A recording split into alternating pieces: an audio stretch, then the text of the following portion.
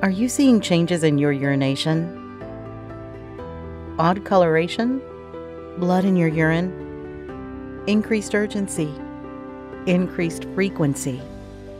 Are you being treated for recurrent urinary tract infections? These may be signs of bladder cancer. Bladder cancer is a treatable disease if caught early. If you experience any of these symptoms, ask your doctor to screen for bladder cancer. If you or someone you know needs information about signs, symptoms, and treatment options of bladder cancer, please reach out to us. We're here for you.